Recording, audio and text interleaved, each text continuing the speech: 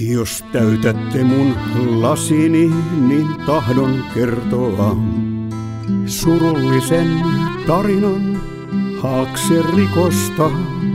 Se sattui Tanskan rannikolla, oli marraskuu, kun myrskysällä roksiti riuttaan ajautuu. On nimi outo, parkkilaivan ties mistä saatu on. Vaan riutta koitui kohtaloksi, meri armoton.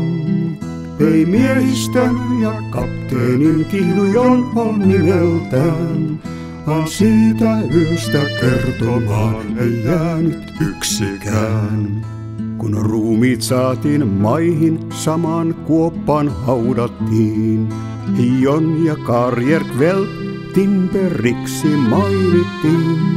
Niin vieri vuosikymmenet, kun Kihnun saarella muistui mieleen Kihnujon ja hänen hautansa. Hän oli saaren sankari ja niin nyt päätettiin.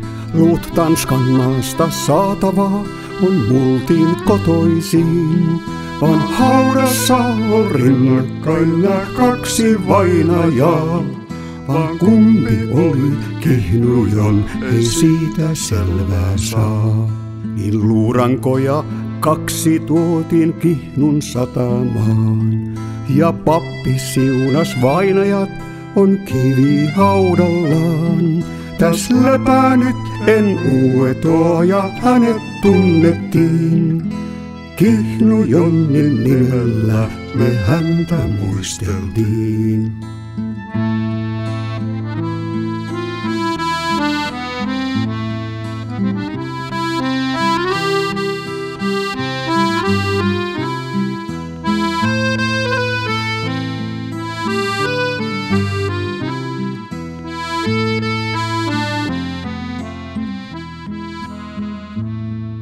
Ja parkkilaiva roksiti ei vienyt syvyyksiin se nimeään, vaan kapakkana jäänyt ankkuriin.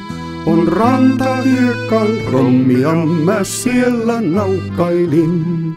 Ja vaiti katsoi seinältä, jon naamoin totisin.